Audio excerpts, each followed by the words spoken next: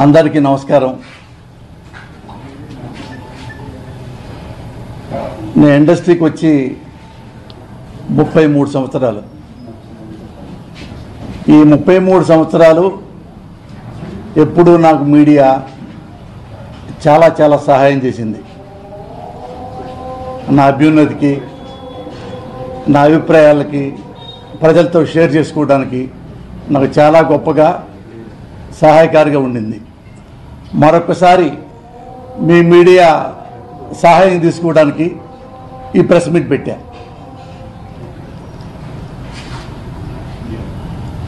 మే పదమూడో తారీఖు నాకు ఆరోగ్యం బాగుండలా. యశోద్ హాస్పిటల్లో జాయిన్ అయ్యాను. చిన్న అనారోగ్యమే. హెర్నియా. మీకు తెలుసు హెర్నియా అంటే అదేం క్యాన్సర్ కాదు అదేమి మరో మరో జబ్బు కాదు. దానికి ఆపరేషన్ చేశారు. చేసిన తర్వాత దురదృష్టం ఏంటంటే ఇన్ఫెక్షన్ వచ్చింది. నాకు ఇన్ఫెక్షన్ వచ్చిందని ఎవరు కనిపెట్టలా? డాక్టర్లు కూడా. ఇంటికి వస్తున్నాను జ్వరం వస్తూ ఉంది. మళ్ళీ వాళ్ళు వెళ్తున్నారు జ్వరాన్ని మందులు ఇస్తున్నారు అలా హాస్పిటల్లో జాయిన్ అయ్యాను. Ten days. మళ్ళా one nought four one nought five fever వచ్చింది. మళ్ళీ ఇంజక్షన్ ఇస్తారు. ఒళ్ళంతా స్వెట్టు. మళ్ళీ నార్మల్ అవుతుంది. ఇట్లా రెండు నెలలు నేను సఫర్ అయ్యా. నిజంగా నేను చనిపోతానేమో అని చెప్పి నాకు భయం వేసింది ఎందుకంటే దగ్గర దగ్గర పది కిలోలు బరువు తగ్గా. తగ్గిన తర్వాత మళ్ళీ స్కాన్ చేసి తగ్గిందండి కొంచెమే ఉంది ఇన్ఫెక్షన్ కొంచెమే ఉంది తగ్గిపోతుంది ఇంటికి పంపించారు. మళ్ళీ వచ్చింది. వస్తే యశోదలో జాయిన్ జాయిన్ అయిన తర్వాత నాకు డౌట్ వచ్చి ఎందుకు ఈ డాక్టర్లు కనిపెట్టలేదని చెప్పి మెయిన్ డాక్టర్ ఉన్నాడు. డాక్టర్ ఎంఈ రావు గారు అని చెప్పి కేసీఆర్ గారికి అప్పట్లో ట్రీట్మెంట్ చేసిన డాక్టర్. నా భార్య ఫోన్ చేస్తే ఆయన లండన్లో ఉన్నాడు. ఇంకా ఆయన వన్ వీక్ అక్కడే ఉండేవాడు ఎంఈ రావు గారు. నా భార్య అంది ఏమండి మా ఆయనకి మళ్ళీ ఫీవర్ వచ్చింది. అంటే ఆయన భయపడ్డాడు. ఎందుకంటే దీనికి ఫీవర్ రాకూడదు ఎట్టి పరిస్థితుల్లో. నేను అర్జెంట్కి వస్తున్నానమ్మా అని చెప్పి మార్నింగ్ ఫ్లైట్కి వచ్చాడు.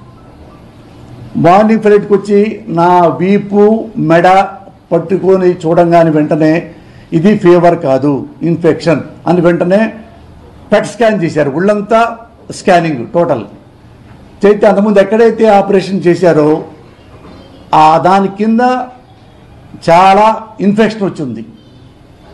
అది ఆయన కనిపెట్టలేకపోయినా లండన్ నుంచి రాకపోయినా ఈ పాటికి మన శాలరీ పైకి వెళ్ళిపోయేది. ఆ లక్కీగా డాక్టర్ కనిపెట్టి with in one hour one and half అవర్లోనే open surgery చేశారు. అంటే కింద పొట్ట ఓపెన్ చేసి లోపల ఉన్నది ఏవైతే అన్వాంటెడ్ ఉందో అవన్నీ బయట తీయటం వలన తెల్లారేకెళ్ళి నేను చాలా ఎనర్జీతో ఉన్నా వన్ డేలోనే ఇన్ఫెక్షన్ మొత్తం పోయే తలకి. ఈ ప్రాసెస్లో ఏమైందంటే మరి కొంతమంది అంటే సోషల్ మీడియాలోనో దాని వెబ్సైట్సా ఏమంటారు యూట్యూబ్ అంటారు వాటిలో విఫలమైపోయిన ఆపరేషను విషమ పరిస్థితిలో పోసానికి కృష్ణమురళి ఇవి ఎలాంటి హెడ్డింగ్లు వస్తే షీ క్రైడ్ లైక్ ఎనీథింగ్ నా భార్య. ఎట్లా పెట్టారు ఏంటండి? మీరు ఇప్పుడు బెటర్ అయ్యారు కదా అని. అంటే తెలియదు చాలా మందికి.